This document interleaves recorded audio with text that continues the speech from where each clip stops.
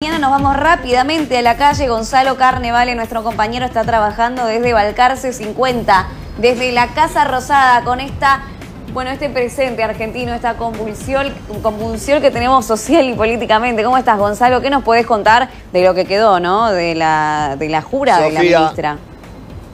¿Cómo estás? Eh, buenos días. Bueno, a ver, en principio que, que hoy va a ser un día mucho más tranquilo que el de ayer eh, con no tantas reuniones, por lo menos aquí en la Casa de Gobierno, tampoco en la Quinta de Olivos.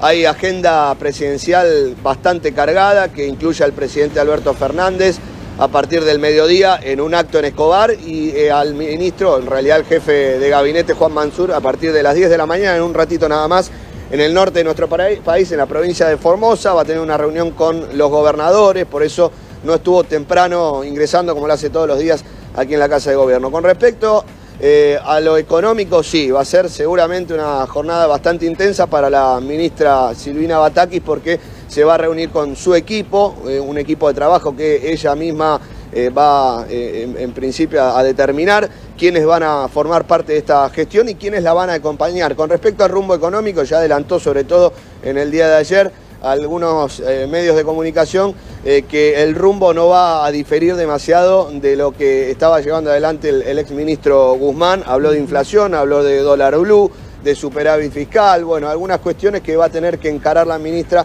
eh, como, como, ministra de, Economía. Se reunió con Daniel Scioli, se reunió con el presidente también del Banco Central, definiendo lo que van a ser los principales temas de la economía de nuestro país, pero como decíamos, aquí en la Casa de Gobierno muy tranquilo por ahora la, jornada, no está el presidente, no está el jefe de gabinete, porque ambos están en sendas reuniones, uno en Escobar y el otro en la zona norte de nuestro país. Buen día Gonzalo, te saluda Andy desde este lado. Quería saber, bueno, ayer cuando ocurrió la jura como tal, fue bastante breve, no, no hubo discurso por parte del presidente, se esperaba tal vez que ella conversara con la prensa y no lo hizo. ¿Se conoce si hoy, probablemente o tal vez mañana vaya a conversar con los medios, es decir, un, un eh, mano a mano allí con la, con la prensa? Bueno, a, ver, no está prevista una conferencia de prensa en el día de hoy aquí en la Casa de Gobierno. Decíamos recién, Andrés, que Alberto Fernández eh, va a estar presente en Escobar en un acto a partir del mediodía. Aquí no se descarta entonces que en ese lugar, una vez que finalice el acto, pueda dialogar con la prensa. Estamos justamente a la expectativa de, esta cuestión.